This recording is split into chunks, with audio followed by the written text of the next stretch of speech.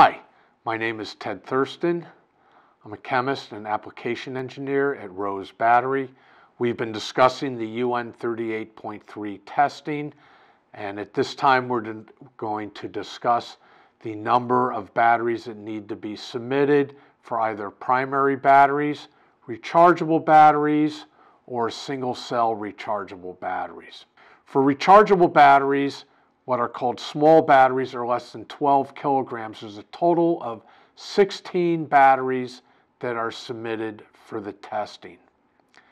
For a large battery, which would be greater than 12 kilograms, that would be eight batteries. For lithium primary batteries, you will submit a total of eight batteries. And then the last category is the single cell lithium ion battery, which only goes through the T7 testing, that you will submit eight batteries for.